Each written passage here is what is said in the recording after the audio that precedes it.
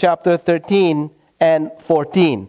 And the background here is that the, the Israelites just came out of Egypt. They were so happy. They are looking forward to go to the promised land, and they were so excited. But then, just before they crossed the Jordan River to possess the promised land, God told Moses in, in Numbers chapter 13 that you have to choose 12 men, one man from each tribe. So there were 12 men who were sent to spy the promised land or the land. And from there, we're going to take these two parts um, in our message this morning. So, as they get ready to cross the Jordan to go into the promised land, God commanded Moses, and there were 12 men that were chosen. So, to make the long story short, they went and then they came back. They spied the land for many days and then they came back.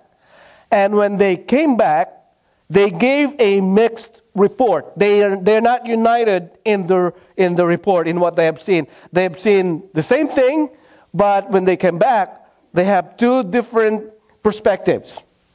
Two of the spies says, the land is incredible.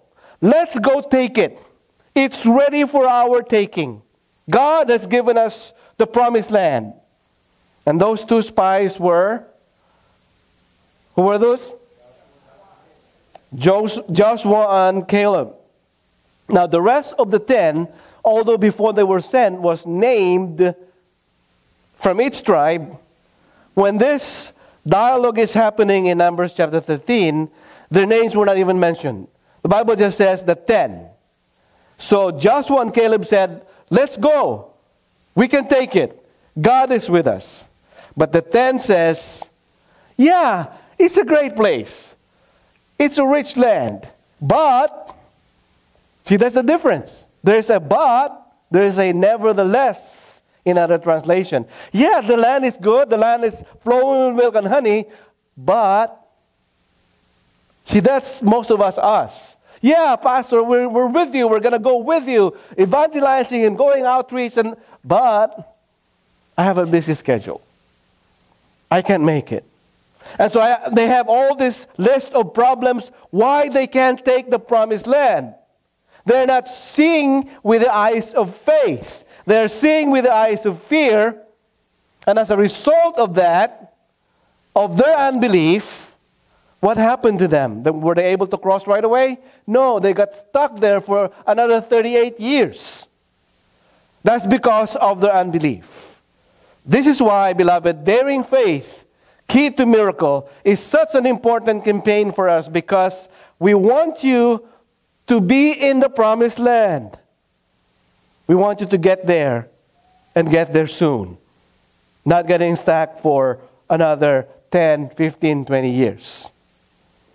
So, let's take a look at what happens when we see with eyes of fear. Just like these 10 men who gave a negative report. The first thing that happens is that we exaggerate our difficulties. Write it down in your outlines. Uh, there's, a, there's a blank there. I think the, the first word is just we. So, what happens when we see with eyes of fear? Number one, what happen, what will happen is that we exaggerate our difficulties. Now, here's the amazing thing God has just delivered them from Egypt, right? They just came out from Egypt. And God just exercised his, his power by, by having the 10 plagues, right? All of, all of those plagues are, are the, at the hand of God. And now they're worried, they're scared of a tribe that stands between them and conquering the, the promised land. How quickly they forget. And that is also me. That's also us. How quickly we forget the goodness of God when we face a wall, when we face a mountain in this life. And so when, when we look at problems with fear, the problem gets bigger, right? When you're afraid of the problem, the problem gets bigger. Remember when uh, you first went to, the, to your doctor and you're scared of the needle? And it's like, you know, I, that is like a most an, an impossible task that you can do. You're so afraid, you're magnifying the problem. It's going to hurt, it's going to hurt, it's going to hurt. But then when it really happened, it's not really that scary.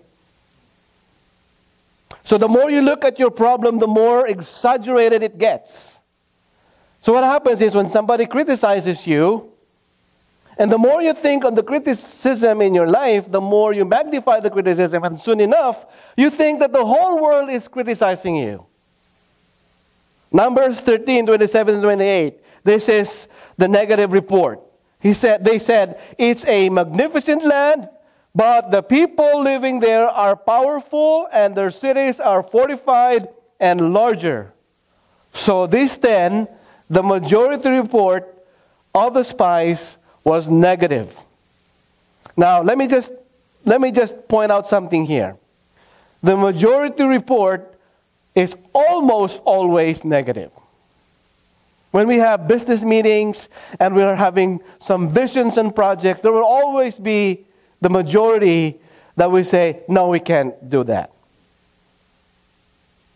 So anybody who's going to do something in this world is going to face and go against and go through the majority report because the majority of people are going to be looking with eyes of fear rather than the eyes of faith. So, listen, they said, We see these people and they are powerful. Only two of the spies says, No, we can take them. Joshua and Caleb said that. Now, the, the problem is here negative attitudes are contagious.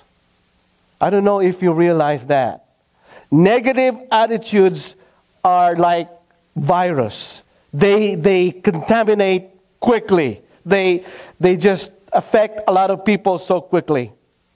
So let me picture to you again the excitement that the, that the Israelites are having. They were so excited. They, they, just, they just realized that, hey, we, we walked for two years already, and, and promised land is just there. And everybody's so excited, maybe some of them couldn't sleep. But then came this report. Can you imagine? There were at least half a million Israelites who exited from Egypt. And there were two who said, you know, we can take it. There are 10 who said, we can. So their excitement all of a sudden died down. And the Bible says that night they cried and think of stoning them. And they said, we can't do it. And they were so affected. The second thing that happens when we see that uh, with eyes of fear is that we underestimate our own abilities. We underestimate our own abilities. So, the, the, the first thing is we, we magnify the problem, the mountain. Then the second thing is we put ourselves too small.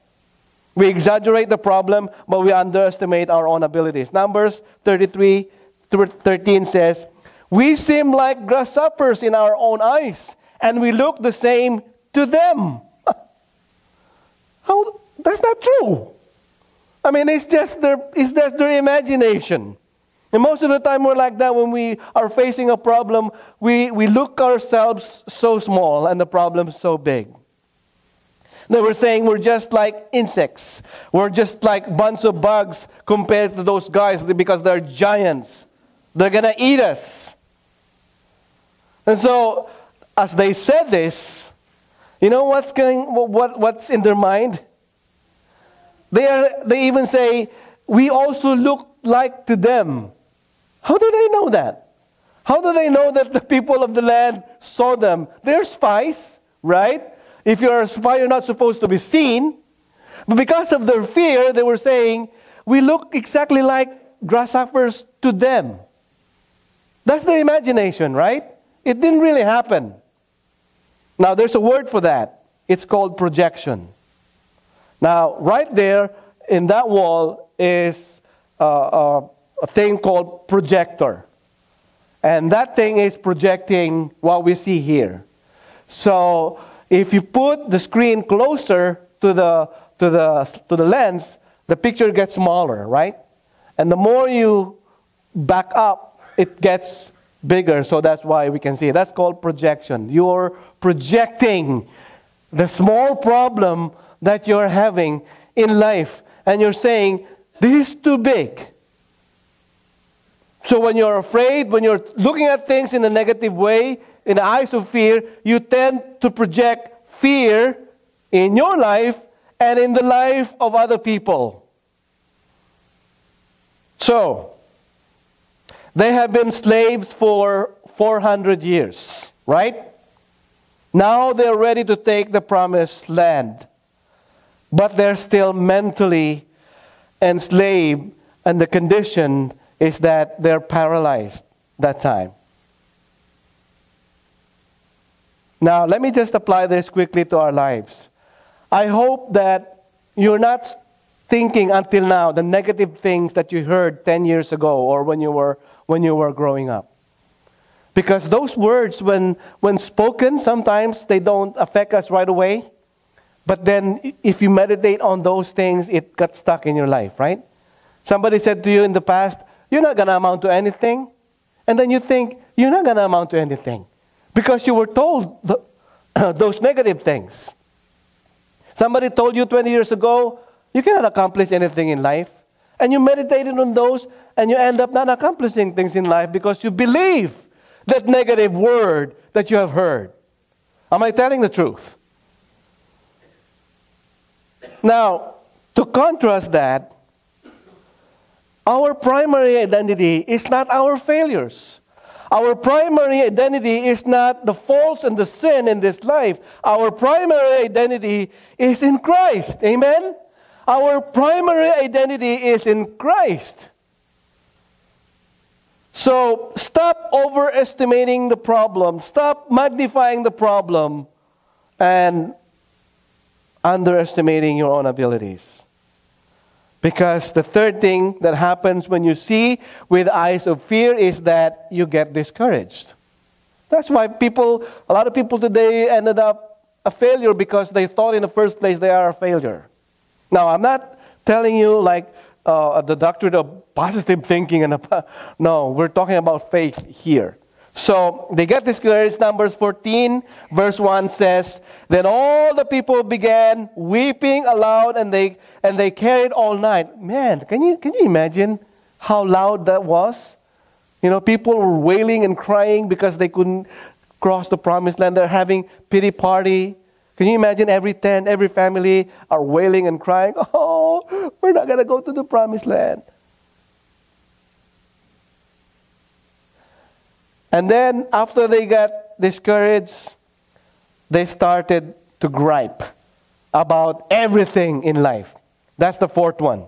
We start to gripe about all of the things that happen in this life. Numbers chapter 14, verse 2 says, All the Israelites grumbled against Moses and Aaron. Huh. All the Israelites grumbled against Moses and Aaron they picked on the leaders. Well, that's natural, even here in the church. Whenever things go wrong, who's to be blamed?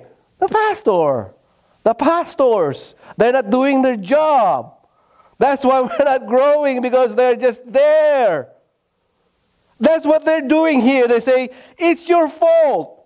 We wish we had died in Egypt. They wailed. So first they cry and now they can complain. Beloved, did you know that highly critical people are always insecure people? Those people that you hear criticizing everybody all the time, they're so insecure in this life. Because of their insecurities, they were having this, this doctrine in their mind that if I'm not going to be successful, then everybody's not going to be successful. I'm going to criticize everyone. I'm going to put down everyone because I am a failure. And I'm going to bring down everyone with me. So we underestimate our own abilities. We get discouraged. We gripe about our lives. And then we eventually give up and blame God. Numbers 14, verse 3, they said, Why is the Lord bringing us to this land to be killed with swords? We're better off going back to Egypt. You know what they're saying here? They're saying, We know better than you, God. and most of the time, that's what we say in this life. Why did I make that decision? I'm better off in my life before. So they're blaming God for letting them go into the promised land. Now, who's holding them back? Not God. They themselves are the ones holding themselves back because of their fear, and the fear is holding them back. So all of a sudden, they remembered the good old days of Egypt. We're better off in Egypt. What's better in Egypt? 400